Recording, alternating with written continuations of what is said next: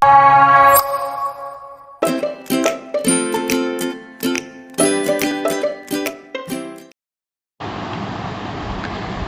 baik. Pada hari ini, cikgu nak ajar tentang kemahiran menulis. Ha, okey.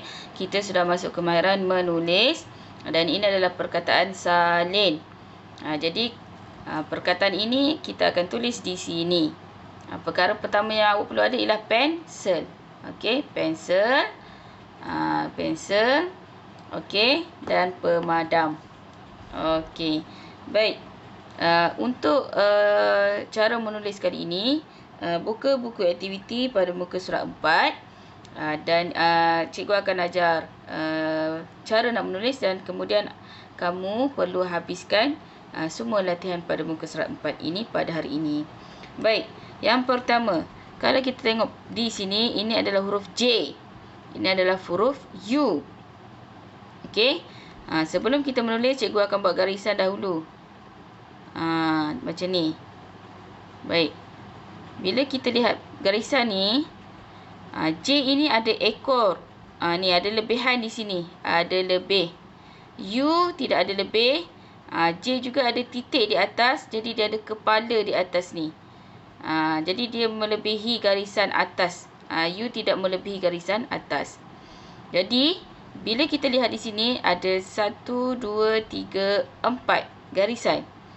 Ya, satu, dua, tiga, empat. Sedangkan yang ini, ha, dua ini je cikgu buat. Jadi di sini, cikgu nak bagi tahu garisan tengah dua ini adalah yang di tengah-tengah ni. Ha, yang di tengah ni. Okey, garisan dua ini sahaja. Ha, jadi contohnya, kalau kita menulis huruf J, pastikan dari sini, dari sini sampai turun bawah ada ekor. Lebih daripada garisan ini. Melebihi. Jadi kalau di sini, cikgu mula dari sini, cikgu turun. Dan titiknya di atas, melebihi garisan atas ini. Melebihi garisan atas. Jadi titiknya di sini. U, huruf U dari sini, ke sini. Ha, jadi, garisan yang kita guna adalah tengah ini saja. Kalau dia ada ekor, kita akan lebihkan. Kalau ada kepala atas ni, kita akan ha, letakkan di atas. Jadi, J, U, Ju. Contoh di tepi ni cikgu akan tulis J U J. Okey. Baik. Mari kita lihat yang ini pula. C E R. Cer. Jadi mari kita buat garisan. Mari kita buat garisan. Ha, perkataan ini ada tak lebihan atas? Tak ada kan? Bawah ada? Tidak ada. Ha, jadi mari tengok cikgu tulis. C E R. Jadi kita tidak le lebih. Betul-betul dua garisan ini sahaja.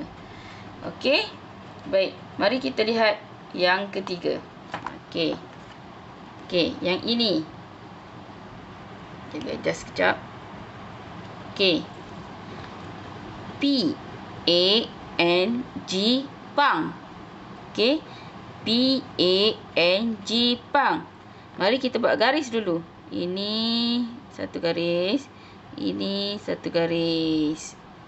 Uh, Okey. Mari kita lihat. Huruf P ada kakinya yang lebih bawah garisan. Yang garisan bawah ni. Huruf G ada ekor. Uh, ada ekor yang lebih. Jadi cara kita nak menulis di sini macam mana? Ha, ini adalah huruf uh, garisan yang di tengah.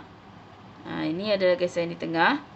Ha, ini adalah kita bayangkan garisan yang atas. Ini ialah garisan yang bawah kan. Okey. Huruf P. Huruf P ni dia ada kaki ke bawah ni. Ada kaki ke bawah. Jadi dari sini. Ha, kita kena mula dari sini. Bukan dari sini ya. Dari sini. Tengah-tengah ini. Tengah-tengah. Ha, ada satu, dua, tiga, empat. Dua dengan tiga ni kita gunakan. Untuk tengah-tengah. Jadi P dari atas ke bawah ha, ada kaki melebihi garisan ni. Kemudian ha, per, uh, perutnya ke depan ni. Okey. Uh, huruf A ha, tidak melebihi. Huruf N tidak melebihi. Mari kita lihat huruf G. Huruf G. Huruf G ada ekor ke bawah. Okey. Ha, jadi ini adalah cara kita menulis. Ha, mari kita lihat. Seterusnya nanti awak akan buat ni. T-A-N-G tang. Awak menulis. Kemudian J-U-R jur. Kemudian D-I-K dik. Kemudian K-U ku. Dan seterusnya G-U-N-G gong. Okey, sebelum tu cikgu tunjuk yang akhir sekali. Bagaimana kita nak menulis. Ha, ni. D-I-K dik. Ha, jadi yang pertama. Kita buat garisan dulu. Ha, bila kita melihat di sini. Huruf ni D ni dia melebihi kepala ni. Ha, dia ada dia melebihi. Huruf K juga melebihi. Huruf I juga ada titik yang melebihi garisan ini. Jadi kita buat garisan ini dulu. Contohnya, okay, kita buat huruf D ni dulu. Huruf D. Kemudian dia ada ni. Tiang ni. Huruf D tiang ke atas. Tiang ni melebihi, melebihi. Jadi kena ke atas huruf I, titik, atas dan huruf K. Ha, jangan tulis macam ni. Tak salah. Sebab apa salah? Sebab K ni dia ada tiang ke atas. Tiang, tiang melebihi garisan ini. Ni tiang dia ni. Ha, jadi K kena tarik tiang, tulis huruf K. Ha, jadi K ni kena melebihi. Okey? Ha, jadi contohnya Ha, dia akan jadi D I K ha, nampak sini ha, ini cara tulis. Okey. Baik. Ha, itu saja ha, sekian. Terima kasih